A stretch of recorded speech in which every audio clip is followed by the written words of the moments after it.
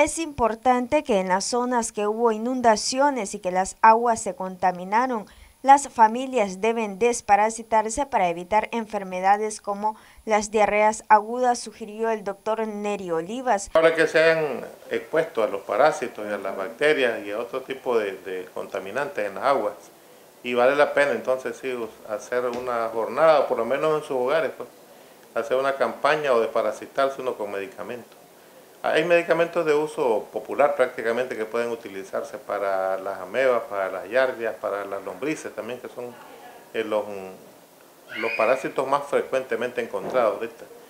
En esta agua contaminada con heces fecales, sobre todo, parece mentira, fíjese, pero como uno utiliza agua de corrientes superficiales, de quebradas, de ríos, de pozos, incluso que pudieron haberse contaminado con aguas que corren por arriba y caen después en ellos, entonces arrastran a ese, sobre todo de los humanos, que a veces uno por necesidad defecan al aire libre, o también los animales, entonces ahí van los parásitos y es bueno que se desparasite uno. La desparasitación debería ser ahorita y después pues, otra vez en tres meses repetirlo. Las principales son las enfermedades diarreicas agudas, o sea, diarrea de inicio reciente, con dolor abdominal, con náuseas, con vómito, a veces con fiebre, como le decía, con eh, las deposiciones son con dolor, a la hora que de defecar le duele. Olivas indicó la importancia de clorar el agua de consumo humano en esta época lluviosa. Si el agua de consumo humano, si fuera agua potable, pues ya fue tratada, no hay tanto problema. Lo que pasa es que teniendo en consideración que pudo haberse contaminado, entonces se puede utilizar en el agua de beber, por cada litro de agua, echarle una gotita de cloro del cloro comercial, el cloro que se vende en la farmacia, en la, en la pulpería, perdón. Entonces ese cloro usted le toma, le hace un hoyito ahí, una gotita en un litro de agua.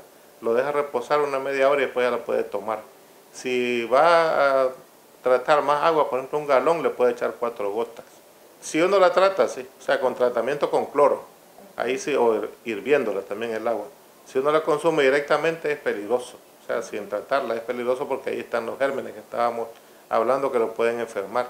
Hay unas enfermedades graves, graves, graves, como la, por ejemplo la, la salmonela, la tifoidea, pues famosa, que hasta lo puede matar a uno. Le da a veces con mucha diarrea, a veces no da diarrea, solo crecimiento de la barriga, se le crece enormemente y con fiebre.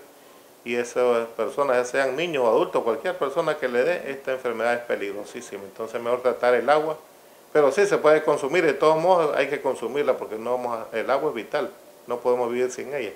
Noticias 12 Darlene Telles.